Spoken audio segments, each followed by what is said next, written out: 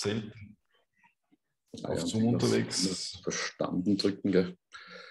Okay. So, willkommen zu einem schönen Nachmittag. Wir freuen uns auf den Vortrag von Ernst Tradinik über inklusive Medienpädagogik.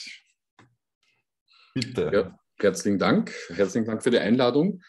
Ähm, ja, mein Name ist Ernst, Ernst Tradinik und ich arbeite seit vielen Jahren mit Menschen mit Lernbehinderung und oder psychischer Erkrankung in Wien als Betreuer einerseits. Ähm, habe zum Beispiel zehn Jahre in der, in der ersten Psychiatrie-Ausgliederungswohngemeinschaft in Wien gearbeitet, äh, wo wir eigentlich vor allem mit recht großen Verhaltensauffälligkeiten gearbeitet haben, ähm, beziehungsweise im Grunde einfach mit hochtraumatisierten Personen. Parallel dazu habe ich aber immer mit äh, Video und Radio gearbeitet und habe ja, ähm, so, probiere das jetzt einmal, Bildschirm freigeben ähm, und, und habe Publizistik studiert. Habe immer Radio gemacht. Genau. Jetzt, ich versuche gerade äh, dieses, den, den Folder, ja, jetzt sieht man es. Ähm, genau. Jetzt habe ich den Faden verloren. Na, genau, Studium, äh, immer Arbeit mit Menschen und mit Medien und vor allem mit Menschen mit Lernbehinderung und oder psychischer Erkrankung. Ähm, durch diese Jahre aus der Praxis habe ich begonnen, mich, äh, also unabhängig davon, was mich interessiert, und jemand auch die will Fernsehen machen, so, so irgendwie kam es immer mehr in die Richtung, ähm, wo man vergisst, wer vor der Kamera steht, also welche Person jetzt moderiert.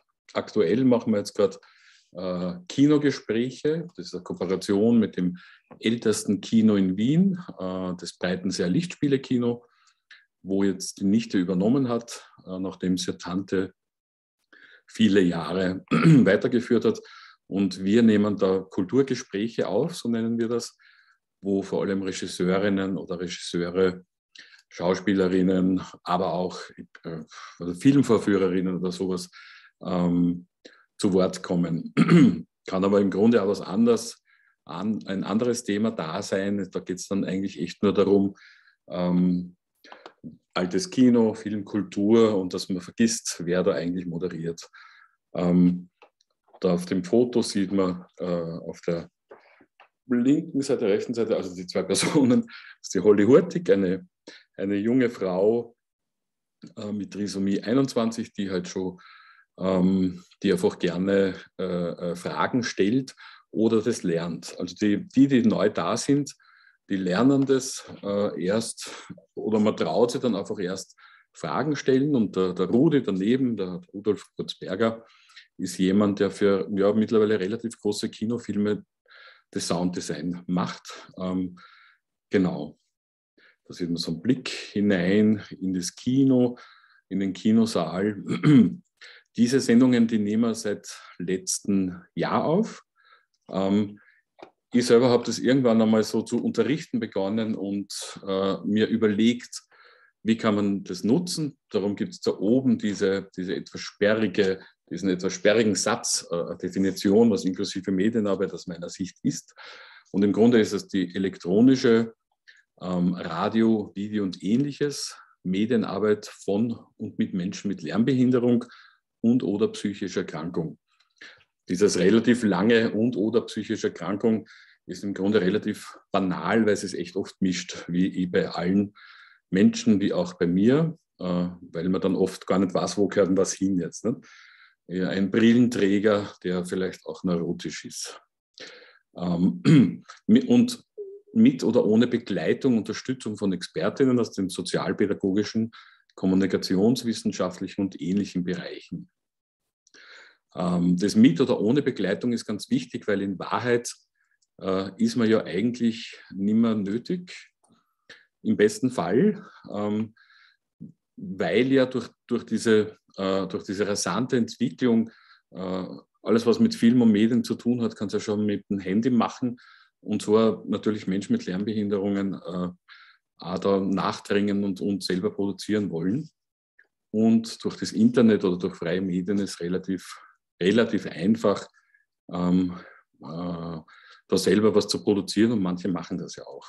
Oder, und die die Plattformen, die ich gar nicht so gut kenne, wie TikTok und was weiß ich, was da alles gibt, äh, da kursiert dann scheinbar eh schon so einiges herum. Wir, wir sind eher, wir versuchen so eher so ein bisschen journalistisch zu arbeiten und äh, dadurch, durch diese, durch diese Arbeit, äh, gibt es, ähm, ähm, ist es so ein bisschen ein Üben, also journalistisch, journalistische Grundfertigkeiten werden da erprobt und eigentlich umgesetzt. Und der Marcel, den man da nur ganz klein sieht oder dann danach im Video, ist jemand, der schon seit 2014 dabei, äh, ein junger Mann im, im Rollstuhl, äh, der aber wirklich schon lange den Berufswunsch Moderator und ähm, Kabarettist hat. Der spielt auch Theater in Wien beim Theater Delfin. Äh, der hat da schon relativ viel gelernt. Also wenn man mit dem unterwegs ist, im, äh, zum Beispiel beim Diversity Ball, so eine Reportage dort machen, weiß der schon genau, äh, ich muss auf den Kameramann oder Kamerafrau warten oder der, der die Technik hat, äh, die Regie inne hat, äh, bis es da okay gibt zum Beispiel. Genau, ich mache das jetzt zu und probiere, genau, stoppen, ein Video zu starten. Ähm, genau. Ich wollte zunächst, na, machen wir nochmal zu. Zunächst nämlich einen kurzen Trailer oder zwei kurze Trailer, wo man den äh, Marcel sieht und hört. So, okay. Herausforderung für ältere Leute wie mich. Kinotrailer, da ist er jetzt. Also sieht man und hört man. Man, man, man, sieht schwarz, ja, es geht. Witze oder nicht? Oh nein. Ich bin so schlecht mit Witzen. Ich bin ganz schlecht. Ich okay. Bin, ich bin Schauspielerin. Ja. Und kann mir einen Witz sehr gut merken, ja. wenn er mir erzählt wird. Ja. Und dann für fünf Minuten. Und dann ist er weg. Aha. Aber vielleicht hast du einen guten Witz für mich, den ich immer merken kann. Zumindest die nächsten fünf. Ja, ja. Bitte. Natürlich. Bitte, erzähl. Tja, das möchtet ihr nun natürlich wissen. Und das geht ganz leicht. Mit dem nächsten Kinogespräch. Hier in diesem Kino und auf Okto.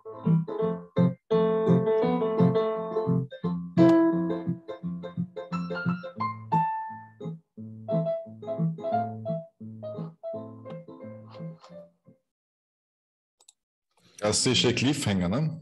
Ja, genau. Also der ist online zu finden, wenn, wenn man da nachhören und nachschauen will. Die dauern so äh, zwischen 25 und 27 Minuten. Eins gab es jetzt mit 19 Minuten. Also da sieht man dann den Unterschied, aber selten noch äh, wie, wie sehr junge äh, Moderatorin, die halt dann ähm, nur sehr vom Zettel abliest und da sieht man dann nur die Schwierigkeiten, äh, wenn ihr Frage stellt und es, es antwortet jemand relativ kurz, ähm, dass man da halt dann einfach nachhakt und nachhakt. Genau. Und sind diese Videos dann äh, in, darf man die dann in der Schule verwenden für den Unterricht? Sind die da lizenztechnisch, ist das gedeckt? Äh, ja, ich muss aber gestehen, ich habe ich hab mich schon mal nur kurz damit beschäftigt, äh, aber grundsätzlich ja. Wir, wir, haben, wir haben eine Kooperation mit einer grafischen, wo Schülerinnen kommen sollen und gerade äh, was um Sounddesign und solche Dinge äh, geht, die schauen sich das dann an.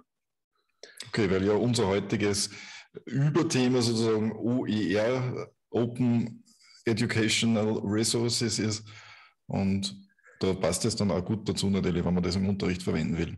Ja, aber sag mal noch, was, was gibt es da für Kriterien? Aber grundsätzlich ist es auf YouTube und in der Optothek äh, zu sehen? Im Prinzip, ja. Wenn es auf YouTube ist, äh, tritt man ja mehr oder weniger die Rechte ab, dass man es für, für vieles verwenden darf. Okay, ja, dann. dann äh, ich denke, die genauen Kriterien, damit bin ich jetzt selbst hast okay. mir erwischt am falschen ab, Fuß. okay, aber wenn, wenn, wenn, oder umgekehrt gefragt, wenn, wenn ihr in der Schule YouTube-Videos zeigen äh, dürft oder könnt, dann geht es natürlich zumindest ja. von dort oder von der Oktothek. Das ist im Grunde die Online-Plattform. Ich würde es dann von dort nehmen. ja, okay, dann, dann, empfehle ich ja mit die Oktothek, wenn man äh, äh, in die Suchmaschine eingibt, Okto und äh, naja, genau, dann, dann kommt man zu dieser Sendeplattform und da kann man scrollen und findet die, die Sendungen. Genau. Ähm, genau, an dieser Stelle würde ich fragen, ob jemand was wissen will. Äh, in, in, in die folgende Sendung würde ich noch kurz gern hineinschreiben, äh, äh, euch das zeigen. Die ist dann, das ist dann also eine fertige Sendung mit dem Rudi Gottsberger, wo es vor allem um Sounddesign geht. Ähm, die Holly ein wenig versierter ist schon als die Flora, ähm, aber nur vom Zettel abliest, wobei wir das ja nicht live aufnehmen und wir dann danach zum Beispiel, wenn, man, wenn ich das Gefühl habe, äh, da könnte der Gast noch mehr erzählen, dann danach noch Fragen aufnehmen. Äh, genau. Ich weiß nicht, sollen wir da fünf Minuten hineinschauen? Gerne. So, weiß nicht, gibt es im Auditorium noch Fragen, Anregungen? Okay, okay starte das jetzt mal.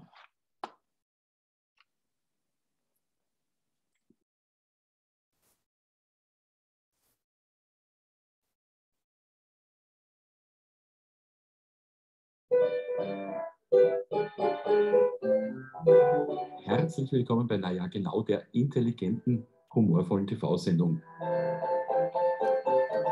Heute zu Gast Rudolf Gottsberger, Sounddesigner und Medienschaffender.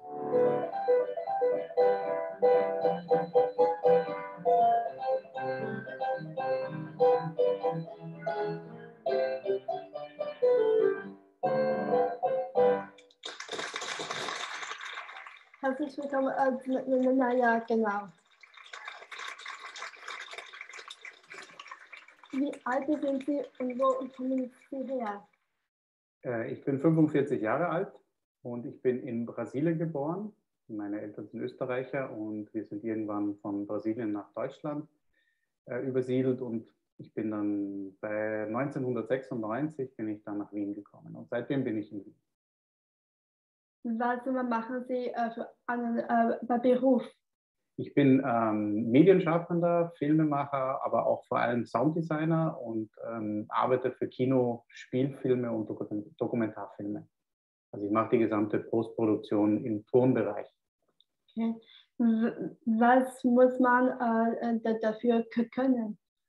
Das ist eine sehr gute Frage. Ich glaube, man ähm, muss sich auf jeden Fall für Ton und Sound interessieren. Ähm, gute Voraussetzungen sind auch Menschen, die vielleicht Musik machen und ein gutes Gehör haben.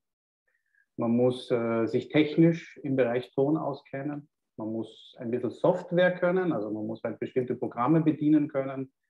Und ich glaube, was sehr wichtig auch ist bei diesen Projekten in Österreich vor allem, ist, dass man als Sounddesigner auch verantwortlich ist für den gesamten Ton des Films in seiner sozusagen finalen Fassung. Also man muss auch irgendwie organisieren können, also ein bisschen managen vielleicht. Mhm. Sie haben eine eigene Firma. Was bietet die Firma an? Ähm, ich, hab, ich bin Geschäftsführer einer Filmproduktion. Wir sind spezialisiert auf Postproduktion im Video- und im Audiobereich. Also wir machen alles, was sozusagen nach dem Dreh passiert. Although the plans are ambitious, Samothrace has great potential. The breathtaking beauty of the landscape makes the island ideal for hiking while the ancient sites are fascinating. Postproduktion heißt das danach, also wenn die Dreharbeiten fertig sind und der Film schon am Computer. Das heißt zum Beispiel die Farben korrigieren und angleichen. Natürlich das Sounddesign. Oder auch einen Sprecher, eine Sprecherin organisieren und aufnehmen und dazu mischen. Samothrake's inhabitants cherish the beauty of their home, but the delicate balance in the island paradise. Ja, okay. Also so in, in etwa äh, läuft dann so eine Sendung ab und je nachdem, äh, wie viel gesprochen wird dazwischen, dann plaudere ich dann manchmal noch äh, dazu. Ähm, genau. Es gibt äh, nach wie vor leider Work in Progress äh, ähm, ein, eine Webseite, die man installiert hat mit äh, www.inklusive-medienarbeit.at, ähm, wo gesammelt wird, welche inklusiven Medienproduktionen gibt es in Österreich. In, in, in Oberösterreich zum Beispiel äh, gab es ja da einiges und gibt es noch beim Radio Froh. Ähm, und dort war, war auch der große Start, so meine bisherigen Recherchen, wie zum Beispiel ähm, am Anfang war der Schleifstuhl, äh, eine, eine so vierteilige, humorige äh, Filmserie von der Neandertalzeit bis ins damalige Heute. Also die haben das 1995 gemacht, äh, ich glaube im Rahmen vom Verein Assist. Und da findet man mittlerweile jetzt einen Trailer zumindest zu dieser äh, Sendereihe. Aber ich und Studierende der Sozialpädagogik, jetzt zurzeit EFA St. Pölten, aber Kommunikationswissenschaft in Wien, beschäftigen sich jetzt vermehrt mit, mit inklusiver Medienarbeit und wir versuchen dann diese, diese Masterarbeiten oder Bachelorarbeiten dort zu verlinken, so sukzessive. da das wirklich so ein reines, äh, äh, reines äh, Eigeninitiative ist und die, oder ich bin einfach zu blöd oder zu faul, mir Leute zu suchen, die das finanzieren, mache ich das selber so mit Hilfe von Leuten, die sich im Webdesign auskennen. Ähm, genau, aber da findet man so ein bisschen die Überlegungen, äh, zu, zu dieser Grundfrage, was kann inklusive Medienarbeit leisten? Eine der spannenden Fragen oder, oder in der Praxis äh, diese, diese Erfolge, die man hat, unabhängig davon, dass es ein fertiges Produkt gibt und man Menschen mit Lernbehinderung oder, und oder psychischer Erkrankung vielleicht mal anders wahrnimmt und möglicherweise weiß nicht, Vorteile oder Ängste oder Sorgen da abbaut, bin ich draufgekommen, dass Leute, gerade beim Radio machen auch, ähm, dass, die, dass die dann mehr, vermehrt ins Plaudern kommen. Also stillere Personen oder, oder Personen, die dachten, äh, sie interessieren sich für wenig oder die beginnen da irgendwie äh, zu plaudern. Wenn man sie da ein bisschen fordert oder wenn sie ihr, ihr, ähm, ihr Thema finden oder ihren Humor. Mit Humor kann man auch recht viel machen. Äh, genau, das findet man dort und auch äh, einen Artikel von äh, Menschen mit Beeinträchtigungen in Medienberufen, weil die Vision ja schon, die ist auch da, dass man sagt, eigentlich soll es viel mehr Arbeitsplätze geben für diese Personengruppe, egal ob im, im, im, im ersten Sektor, also im, im, am ersten Arbeitsmarkt oder am zweiten Arbeitsmarkt oder eben in, in künstlerischen Pro Projekten oder so. Genau, da kann man ein bisschen stöbern oder eben bei Fragen kann man mir übrigens gerne anschreiben. Und äh, das habe ich jetzt hier nicht, aber äh, meine Webseite ist, die auch bald fertig sein wird, menschen- und medien.at. Und, und so, so ist dann auch meine Mailadresse. Ah, da unten, ah, da unten habe ich es. Äh, diese ernst.radenig.menschen und Medien.at ähm, oder Motuchen. Also eines der wichtigsten Dinge ist eigentlich, ähm, weil ich hier bei Lehrerinnen und Lehrern bin, die wahrscheinlich eh recht ähm, einen offenen Blick haben, aber aus dem Betreuungsbereich habe ich bis vor einiger Zeit noch kennengelernt, dass dieser Blick ähm, nicht unbedingt immer sehr weit ist, dass, dass man vielleicht nicht immer darauf schaut, äh, dass dann da echte Begabung gibt oder Wunsch und, ähm, und so eigene Barriere im Kopf, dass man sich nicht äh, denken traut, dass jemand Radio oder Video oder ähnliches machen kann, äh, auch wenn er zum Beispiel, äh, äh wie hat man die Holle mal gesagt, aber ich stottere ja. Ähm, wenn man zum Beispiel stottert, obwohl das jetzt wahrscheinlich nicht mehr das korrekte Wort ist. Ähm, auf eines würde ich noch gerne hinweisen. Am 3. Mai machen wir wieder so Online-Tagung inklusive Medienarbeit, ähm, veranstaltet vom Commit in Kooperation mit BIF. Das ist so integrative äh, Fortbildungs, äh, was kann ich, äh, Institut und Mensch und Medien, also quasi mir und meinen Kolleginnen und Kollegen. Ähm, die ist zweimal zwei Stunden und wenn man so will, relativ niederschwellig weil zumindest letztes Jahr hat es geklappt, relativ viele Personen erzählen von ihren Sendungen. Österreichweit und aus Deutschland war jemand dabei. Wenn es wieder so klappt, wollen wir das wieder so ablaufen lassen, die dann selber erzählen, warum sie Radio machen. Oder wie es ihnen geht beim Radio machen. Oder was brauche ich denn für ein äh, Mikrofon oder so. Oder wie komme ich zu meinen Themen. Oder äh, wie gut werde ich unterstützt. Ähm, oder was brauche ich nur zur Unterstützung, um selber eine Sendung zu machen. Oder ein Podcast, wie funktioniert denn das? Und solche Dinge. Und eher so aus der Praxis heraus. Und wir versuchen dann äh, zu schauen, was, was dann die anderen wollen oder brauchen. Ja, ähm, genau. Ah, da steht irgendwas im Chat. Danke für die Rückmeldung und ja, vielen Dank fürs Zuhören und Zuschauen. Ja, danke für den Vortrag. Gell? Vor allem äh, diese. Danke. Hört man mich? Ja. ja. Äh, vor allem diese, diese Themen sind ja gerade in der Jugend auch äh, sehr gut verankert heutzutage. Äh, es gibt viele Schülerinnen und Schüler, die einen eigenen YouTube-Channel oder dergleichen ausprobieren. Und da braucht man ja dieses ganze Wissen um diese Medientechnik. Mhm. Ja, gibt es noch Fragen?